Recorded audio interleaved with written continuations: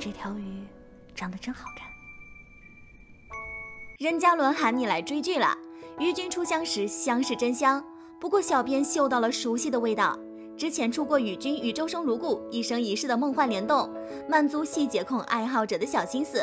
本期视频依旧是走细节范儿，面对相同场景时，任嘉伦是怎么展现一人千面的演技的？大家好，咱们又见面了。任嘉伦饰演的于三岁怎么可以这么可爱？是谁已经深陷国超那无辜的眼神无法自拔呢？常毅努力挤珍珠的时候，这无辜的小眼睛直接融化大家的心。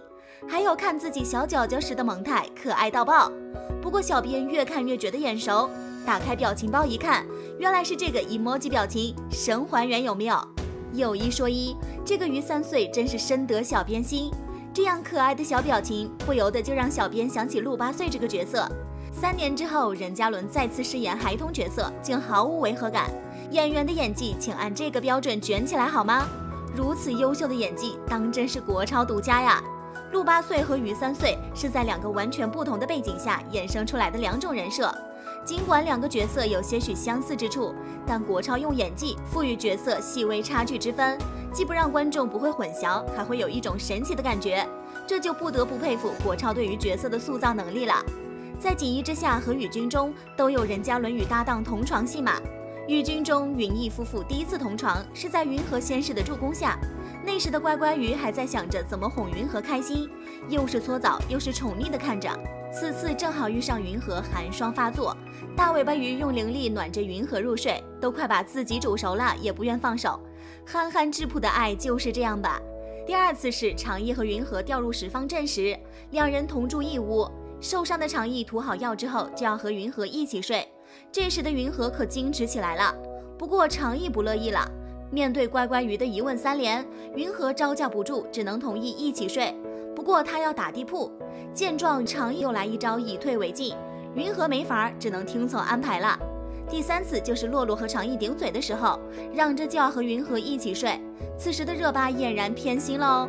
在锦衣之下中，陆八岁因为打雷非常害怕，就来找金夏一起睡。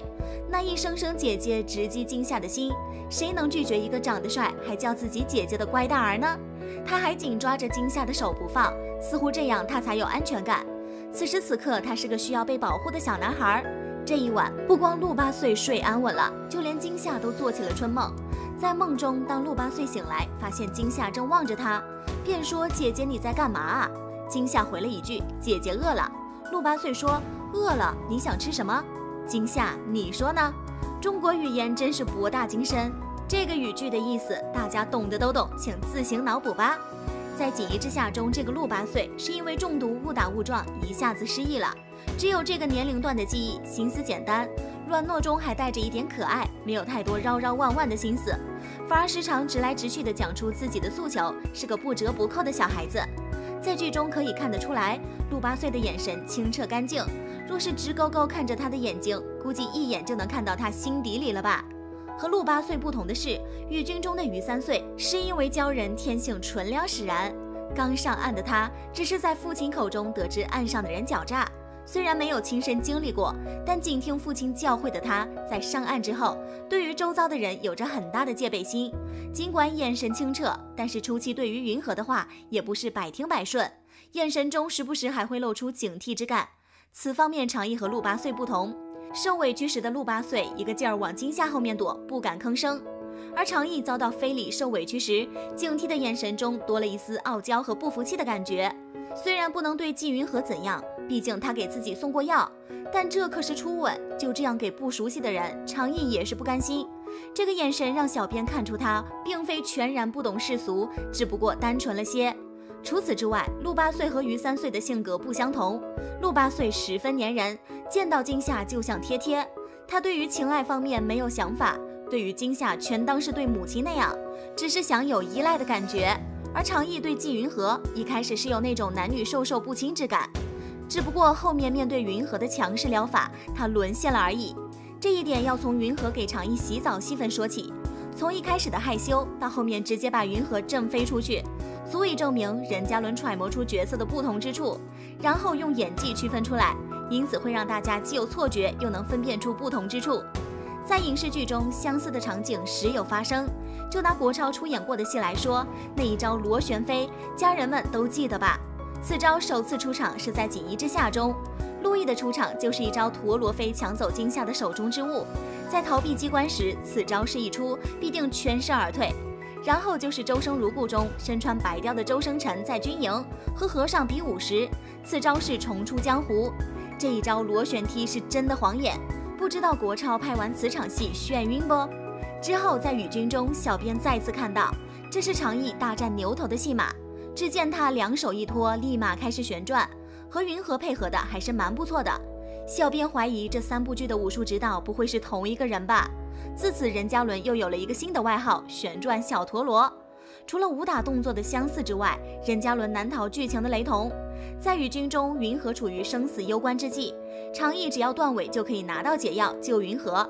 但是鲛人断尾如同背叛鲛族，一边是爱情，一边是亲人，长义陷入两难。可是云禾即将感官尽失，还有旁人在耳边的鼓风。此刻的长义下意识求人，小编多插一句嘴：这少谷主也是。你不是对云禾有恻隐之心吗？到如今有解药都不给，真狗！长意这泪汪汪恳求的眼神，当真过目难忘。在锦衣之下中，陆毅为寻求惊吓的下落，只能来求助严世蕃。一向心高气傲的陆大人，此时的眼中满是愤怒与隐忍，因为他清楚此刻只能求人。面对严世蕃接二连三的为难，陆大人虽眼中带怒，但为了心爱之人，还是下跪了。在他的这段表演中，小编看到了隐忍的精华和为了爱人的屈服。在《周生如故》中，小南成王遇到威胁时，他的脸上镇定自若，因为他知道这一生就这样了，即便是逃，能往哪里逃呢？他想用自己的命换小皇帝的一线生机，他想用命换北辰的片刻安宁。一旦他逃了，小皇帝必死，南城王府必反，那时的国家肯定会分崩离析，这是他不愿看到的。任嘉伦用三种表情演绎出他被威胁时的心境。小编还发现，陆毅和常毅的相似之处就是都很有钱。锦衣之下中的惊夏有一个特点就是爱财。陆毅从小在贵族长大，自然不缺钱。可大人呀，有钱也不是这样用的。惊夏和陆毅遇到贼人追赶时，两人眼看着就要打不过了。此时陆毅抛出一大把白花花的银子，惊夏心里别提有多心疼了。那是他工作多久才赚来的。可是对于陆毅来说，这一点银子只是他家的冰山一角，而且金山银山也比不过惊夏的安全呀，所以只能出此下策。在金夏还陷在心疼银子的情绪中时，陆毅注意到他的伤口虽然很小，但陆大人这一脸心疼的表情是谁目了？比陆大人还有钱的当属常毅了吧？追剧下来，大家才发现，原来常毅竟是本剧中的第一有钱人。季云和原本和大家一样，一开始都以为久居深海的鲛人十分贫苦，企图以岸上的繁华喧闹诱惑长义断尾留在岸上，却没想到长义在描述起自己家乡时的人和事物，就把季云和和洛洛深深震撼到了。长义形容自己光是睡觉的蚌壳，就比囚禁他的整个思过窑还大。他们在深海里都不用油灯，而是用像人这么大的珍珠来照明。而且后来长义还说了。他父亲居住的地方比整个万花谷还大，用蚌壳来形容也太逊色了。据长义的形容，他家根本就是个海底皇宫了吧？什么时候才能实现一家一户各长义呢？不仅如此，任嘉伦更是把毕美学琢磨透了，简直就是天花板级别的了。在雨军中，长义为了云和学会说话了，给了鲛珠了，最后连最珍贵的大尾巴也砍了。即便这样付出，到最后换来的是云和善意的谎言。成长之后的长意武力全开，化身复仇王子来找季云禾报仇，囚禁他还是轻的。最忍受不了的是云禾命不久矣，这让本来就比寻常人活得久的长意该怎样度过余生呢？在周生如故中，一生保家卫国、征战沙场的周生辰，最后得了个剔骨的结局，被迫与十一分离，不得善终，令人唏嘘不已。时宜也是在大婚之日，穿着婚服从城墙上一跃而下去寻师傅。陈实夫妇爱而不得的虐恋，直到现在还有剧迷十分上头。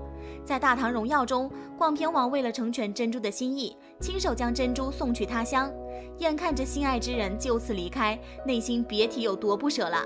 这落寞的神情，小编恳切编剧大大放过国超吧。好了，本期视频到这里就结束了。在之前的视频中，还有任嘉伦梦回路八岁。任嘉伦与热巴的四次擦肩而过等，大家真的不来看看吗？关注本频道，任嘉伦各种资讯尽收掌握。还没有订阅的小伙伴，记得订阅一下呀，这样你就不会错过任嘉伦的精彩内容了。我们下期再见。